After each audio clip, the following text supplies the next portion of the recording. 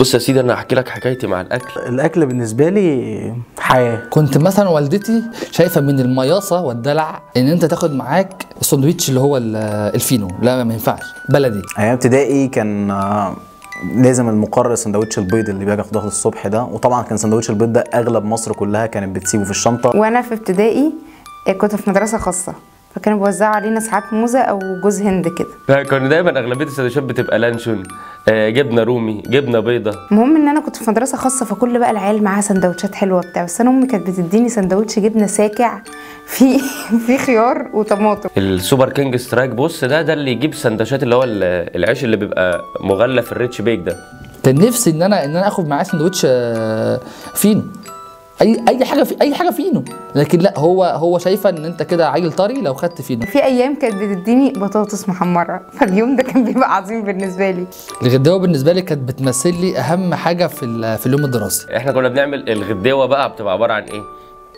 أنا مثلا ببقى جايب سندوتشات آه، آه، لانشون وجبنة ومش عارف إيه وحاجات كده جميلة. فكنا بنتكلم في التليفون كده نتفق كل واحد هيجيب سندوتشات إيه بكرة عشان ما نجيبش زي بعض. ونقعد بقى ما بين ال- الحصص نقعد ناكل بقى كل واحد يطلع إيه ما عنده بقى. أبدأ بقى إيه؟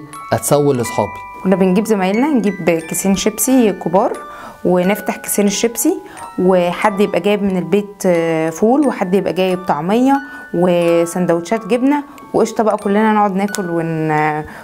من بعض يعني. أروح آخد منهم مثلا كل واحد نص جنيه ربع جنيه حسب ال- اللي في نصيب وأنزل أعدي أنط السور وأروح عند بتاع الكشري ويعني بقى وصية. والله ما مسكت فلوس في حياتي قد قد اللي مسكتها من العيال دي. ومن أهم الطقوس برضو في الأكل المحشي برضو.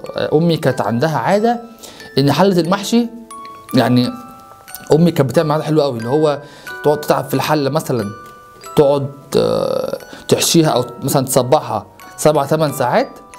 وما أعرفش إزاي بيجي لها قلب إنها تروح جايبة كده حل آه يعني بقى صينية كبيرة قوي.